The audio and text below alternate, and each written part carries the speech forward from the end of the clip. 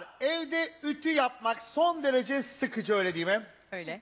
Hayır değil. Arnica Violet 2600 ile artık evde ütü bir keyfe dönüşüyor. Sevgili seyirciler Violet 2600 inanılmaz bir buhar gücüne sahip.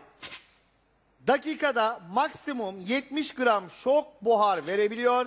Inox paslanmaz çelik tabanı giysilerin üzerinde yağ gibi kayıp jilet gibi ütü yapıyor. Sizce Arnica Violet 2600'ün tabanında kaç adet buhar çıkış noktası vardır? Esin, Taş çatlasın 110.